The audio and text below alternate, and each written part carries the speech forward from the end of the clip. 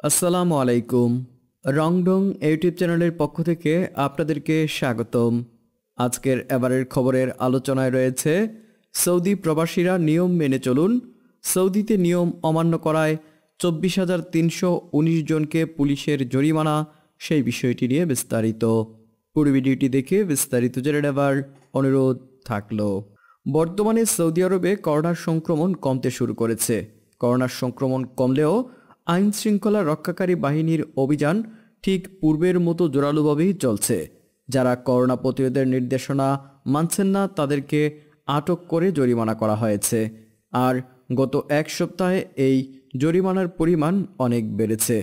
সৌদির স্বরাষ্ট্র মন্ত্রণালয়ের পক্ষ থেকে জানানো হয়েছে, গত এক সপ্তাহে সৌদি আরবের বিভিন্ন স্থানে অভিযান চালিয়ে করোনা প্রতিরোধের নির্দেশনা ভঙ্গের দায়ে চব্বিশ হাজার তিনশো উনিশ জন সৌদির নাগরিক ও প্রবাসীদেরকে আটক করে জরিমানা করা হয়েছে।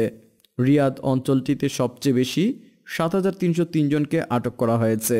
তারপর মদিনাতে তিন হাজার তিনশো ষাট জনকে, পূর্বাঞ্চলে তিন হাজার সাতাশি জনকে, মক্কাতে দুই হাজার একশো বাহাত্তর জনকে, কাসিমে আঠারোশো তিরিশ জনকে, জাজানে পনেরোশো সাতষট্টি জনকে, হাইলে নয়শো চুরানব্বই জন সহ আরও বেশ কিছু এলাকাতে সৌদি নাগরিক ও প্রবাসীদেরকে আটক করে জরিমানা করা হয়েছে।